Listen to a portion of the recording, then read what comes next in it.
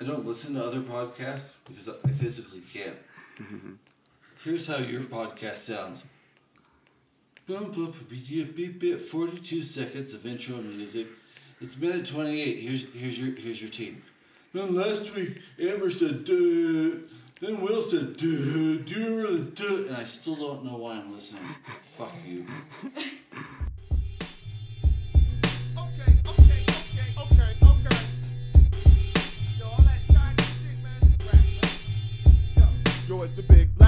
that crushes your whole block. Dow Jones, milestone, genuine short shot. Street smart, sweetheart, you never want none. The beat starts, beat starts, airing them out, run. I don't get down with snitches and the crooked shady bitches. and The beautiful Black Monarch Hotel in Victor, Colorado. Episode two. Yep, yep. Yeah. And uh, I don't. I don't know if we- we'll get to the third. I don't, I don't know if we're gonna get to the third at this We've been point. partying we, uh, party. Yeah. It it has been very very. Uh, Swifty? Lit. it- yeah, as, yeah. as the youngins say. The the illicit substances have been flowing. That's for damn sure. Shit on the Analysis floor. Just kidding. No, it's a really nice hotel. Yeah. Don't do that. Don't. Yeah. Bad advice. Mission mission survival project, projection 37%. True. Projected casualties 67%. Yep. Yep. For real, though. That's pretty pessimistic. I think we'll do better than that. Probably. I think we're doing all right. We'll try to make it. We'll try to make We'll it. Let's do it. yeah. Oh, yeah. So, wh- what do we got uh, on the docket, HP? Uh, I mean, it's you guys know how it goes. We're doing drink of the week. We got game of the week, and we got track of the week. Well, I guess We're let's, out. let's just get Yeet. into it. Let's just Let's do it. Right on. All right. We'll And be by back. the way, Drink of the week. Hey y'all, it's your Pixie Pal Pan here. So, today's, this week, we have a wonderful uh, Satori whiskey. A Suntory whiskey. Sorry, I am, I really like this whiskey. I've had quite a bit of it It's myself. very good. It's very That's a good review in and of itself. Yeah. um, so let's all take a sample if we shall. May you fight long and well. Maybe Skull. That's so good. I really like this one. The description on the bottle is a vivid blend of carefully selected Japanese whiskey, silky with a subtle sweet and spicy finish. I totally stand by that statement. I'm kind of a uh, connoisseur of Japanese whiskeys myself, and this is the one that I go for. This is the one that I try to grab when I can get it. Same. I really love this so one as well. Vivian, when I, when I tasted it, it tasted like scotch to me. It kind of does, and if so, if you are I would agree with that statement. Because uh, whi- uh, whis- whiskey, th- there's uh, blends, mm-hmm. Irish whiskey, um, uh, Scotch whiskey or Scotch, uh, and then of course the only Native American liquor, bourbon. Yeah. Uh, the thing with this one is that it actually is a blended Japanese whiskey. Okay. It is not a single. It is a blend of Japanese whiskeys that they have formulated for their own branding and their own company. It is a unique whiskey that I thoroughly enjoy. I enjoyed it very much when I was in Japan myself. Nice. I, And I like it too. It's, it's, it's decades. fucking When- great. When, when you said it, I remember seeing uh, what's the one with Bill Murray and Scarlett Johansson. Mm-hmm. I don't know.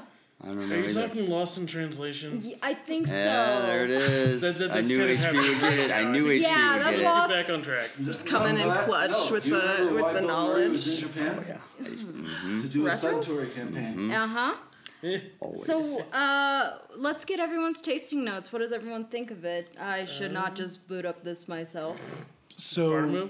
Yeah, Bartomeu. Quite frankly, in my opinion, I'm definitely going to agree with the notes of Scotch. Yeah. It's got a certain dryness that resembles peat, but while it doesn't have a real peaty flavor to it, there's a, just a note of, quite honestly, dust, and that's what I taste when I taste peat. It's why I can't drink Scotch. I love Irish. I, I um, don't even drink, just smelling it, it smells kind of mossy. It has that aromatic mm-hmm. moss mm-hmm. tone. It mm-hmm. smells like like wet earth almost. And actually, this is fun. Have you ever heard the phrase terre noire? Hmm. Black earth. Terra Noir. ter- uh, like spirit of the earth. For example, like in a certain region of Burgundy, France, because of like soil composition, they will like produce a grape that produces. Yeah. Some of the finest wines that What, have ever come out. like come black out. grapes and stuff? Or Just what? So, um, Not only the yeah. grapes, but Around the the- That's why like volcanic soil is really good for all that stuff Yeah. too. But but basically, with uh, Terre Noire, doesn't exist with Scotch.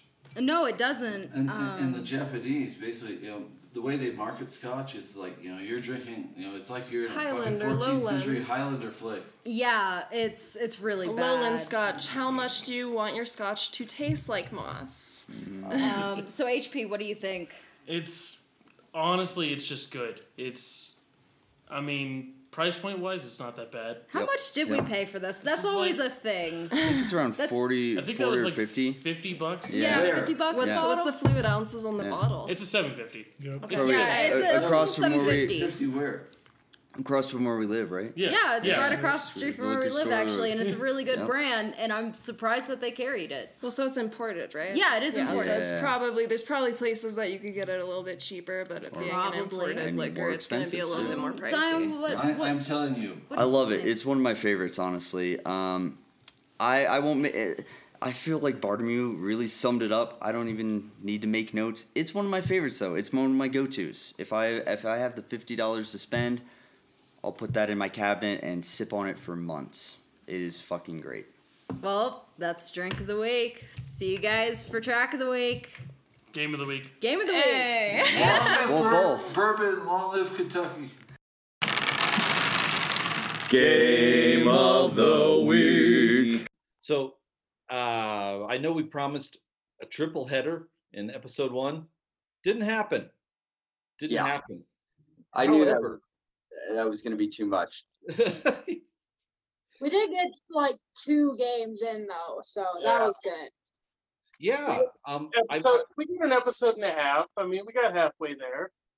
yeah. Um. I'm. I was delighted to find that audio, and I want to salute. Um. Because I hit the wall, and dang, if y'all didn't pick up the mic and, and keep going. So I want to say thank you for recording the intro. Thank you, Peter Pan, for uh, bringing a new whiskey to talk about and spearheading a good discussion. Again, uh, episode two, after the fact of our uh, bender, frankly, under the roof of Timber Smalls and BG, who, by the way, endless could probably never awesome do- place, awesome people. And um, so as I passed out, the rest of y'all played a game which John especially is pretty well steeped in, and that game is Cheaty Mages. Yeah, I like that game. It's a really great game. Pretty easy to teach and uh, a lot of fun, really. Yeah, um, in, in Cheaty Mages, it, it, it has a neat setting. In, in the game of Cheaty Mages, uh, each of the player, uh, basically there's a big coliseum where people go to watch like goblins and dragons and minotaurs and stuff duke it out. Really wholesome pastime. They kill each other for your amusement. The players in the game are wizards who happen to be in, in attendance and who also, I guess, have gambling problems because every player is wagering on which monster is going to wipe out the others. The kicker is uh, the wizards are all cheaters, and you're all casting spells on the monsters in the arena to try to screw up other people's bets and make sure your monster wins. It's a pretty clever design. I didn't get to play much of it. Um, I probably like got what part of a round, and I think you got. I think you got a full round. I might have got a full round. I did, but let's be I honest. Our, our our memories are all a little fuzzy. I don't remember. yeah um the, the the one thing i do remember is coming to the next day and and my and my life was saved i i was so hungry and dehydrated and i was just like feeling around on the ground next to my bed and i found an unopened package of sweet tarts ropes and without moving any other part of my body i was just i just kind of fed them to myself buzzsaw style until the package was gone and that's how you all got home that day Right? That's good.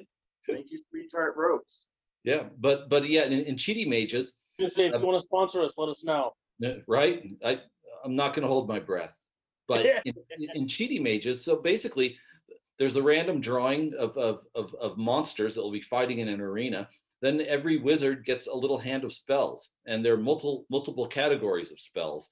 And what you start doing is playing and laying down spells on your turn uh, based on uh, which monster you've got your cash riding on. And and I think they also add the detail some monsters have bigger payouts, right? Mm-hmm. Yeah. Yeah, the the weaker the monster, the bigger the payout if they win, if I remember right. Yeah, so sometimes you'll have just a little dorky goblin or something in there, but he'll, you know, it'll pay 10x on, on a bet. And the whole time, as you go around and around, all these screwball spells start stacking up next to these monsters. And you're always trying to figure out did somebody tank my monster? Can I edge my monster in? Because everybody bets secretly beforehand, correct? Is that the mechanic? You've played it more recently. Yeah, and then to, you can bet up to like three, I think, but the payout is less. So if you're Yeah. just betting on one monster, you you get a better payout.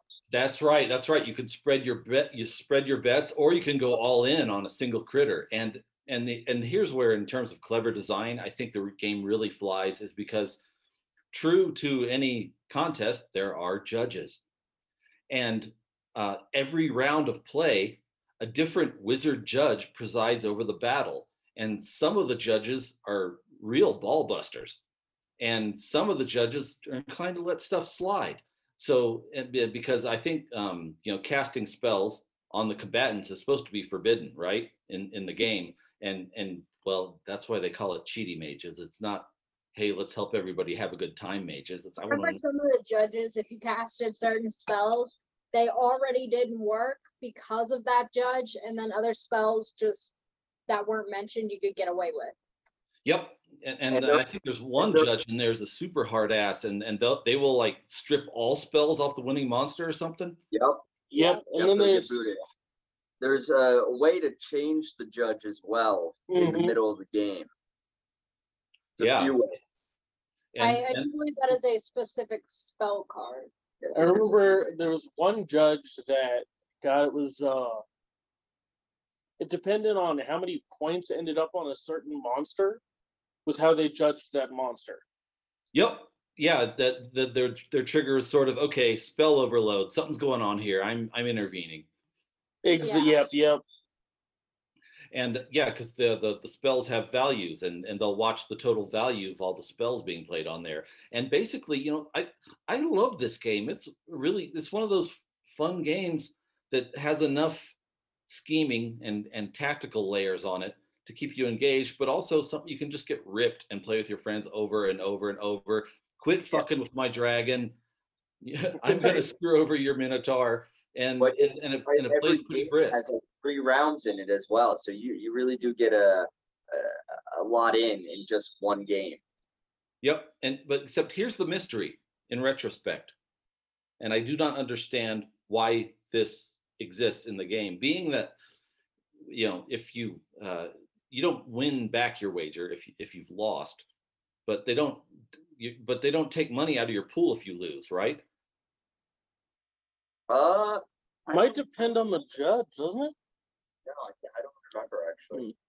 But- So but all I'm saying is I cannot figure out why everybody anybody in the game has starting money.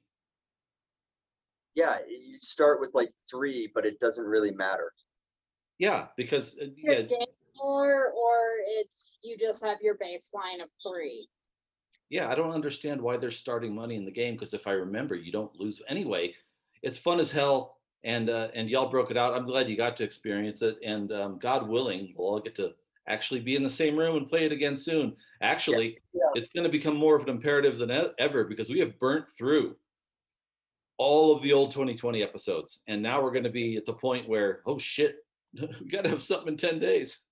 Yeah, I we will- need new content. I will say it might be easier coming up because I did get my chip installed and I got the firmware update this morning. So Dope. And um, yeah, there you go. Game of the week, once again played in the Tesla room at the Black Monarch Hotel, uh, was Cheaty Mages. We're going to be back in a second with track of the week. Track of the week. So, track of the week, I'm, I'm going to echo our hosts, our hosts' predilections. uh, Timber Smalls picked out a Beastie track, uh, the first track off Check Your Head.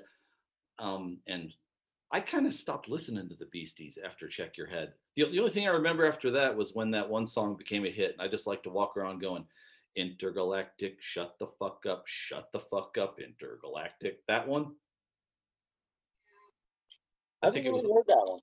I, I think it was on Hello Nasty. Anyway, um, so my favorite Beastie track I, I, I'm going to is uh, the the Free Zone remix of Root Down by the Beastie Boys. I as as you know, I carry on a lot about how much just a, a tweak in production can me make the the rhymes and the song and everything work better. So um, why don't we just drop how it drops and and and see if my enthusiasm's justified. Let's check it out.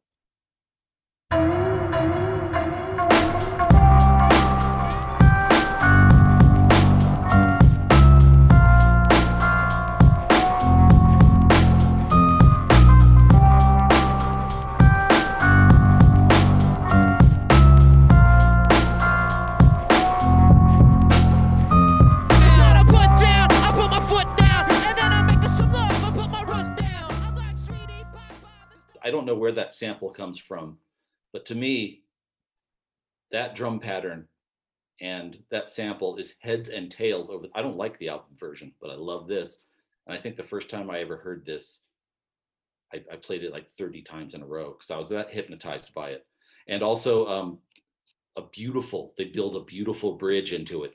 Hold on for one second. Let's check out the bridge. Or don't stop. Come on, just get on the mic with the tick and the tack. And while I fill you to the fucking rim like brim, I'm walking down your block and you say that's him. There goes the guy with the funky sound. The Beastie Boys, you know we're gonna get down because I got the flow where I grab my dick and say, Oh my God, that's the funky shit. So I'm gonna pass the mic and cause a panic. The original nasal kid is doing damn. Everybody took the train to the high street. So, so there you have it in partial homage to our our January host, Timber Smalls, NBG. Uh, the Root, uh, the Free Zone remix of Root Down by the Beastie Boys. Um, this concludes the actual doubleheader of the Black Monarch Hotel, and I can't urge you enough. If you're looking for a unique, fun place to stay with a killer host, by all means, uh, pin Victor, Colorado, as one of your stops. I know that a lot of people have have written them up, but of course, you know we we loved it. We loved it. Uh, you know for for the vibe as much as the design and location. Um, honestly, I thought that was one of the best locations we could have possibly filmed at or recorded at because I loved it. I was already obsessed with the place. I was fangirling the entire time. that I noticed. Before we got there, after we left, I am still giving out the name of the Black Monarch to people that are like, I, I talk about that night. And they're like, oh, where were you staying? And I, I tell them the Black Monarch and I give, I still business cards and stickers that I'm handing out. Awesome. Um, that that that is true dyed in the wool fangirling right there. But in this case, the object of your fandom is highly worthy. I, I uh, oh, speaking of fangirling, um, in in upcoming episodes, I managed to get all the members of a Louisville, Kentucky thrash metal band called Belushi Speedball onto Zoom and let them ride along for uh, game of the week, track of the week, intro. And it was I lost control of the episode. It was a disaster, but I hope in the best Yeah, way. thrash metal band, like you kind of gotta expect to roll with the punches. Well, th- th- they're a particular kind of thrash metal band, and you're, you'll you'll get to meet them in an upcoming episode. Also, and this is fun. We're gonna do. Uh, Timber Smalls had such a good time with us that we are invited to his Denver property. That's gonna be fun. And uh, the the cool part there is uh, he has decks there, and he knows how to. And I said, "Can you operate them?" He's like, he goes, "I am quite proficient on the ones." He claims. So we're going to have a very low head count, kick ass dance party at his other place in Denver, probably this spring. Sounds like a plan. Fuck yeah. But uh, in the meantime, uh, this is the Great Unclean One here with John, aka He She Who Thirsts, Peter Pan, and HP, aka the Goat in the Woods, saying thank you once again to the Black Monarch Hotel and signing off for now. May you fight long and well. May you fight long May you fight well. long and well.